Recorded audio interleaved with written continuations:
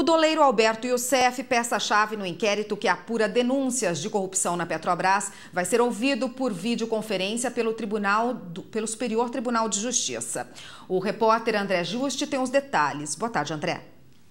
Muito boa tarde, Érica. Alberto Youssef, que está preso em Curitiba, será ouvido por videoconferência no dia 10 de dezembro, às 4 da tarde, por um juiz federal convocado pelo próprio STJ. A determinação é do ministro Luiz Felipe Salomão, relator aqui no tribunal dos inquéritos sobre os casos de corrupção na Petrobras. Desta vez, Youssef será ouvido sobre uma doação feita ao ex-governador do Rio de Janeiro, Sérgio Cabral, e ao atual governador do estado, Luiz Fernando Pezão.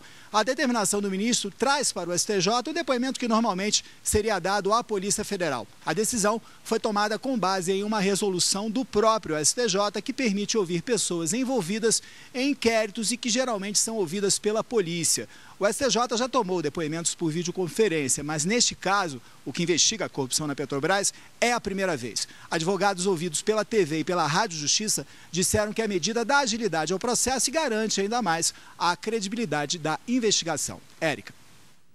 Obrigada, André, pelas informações.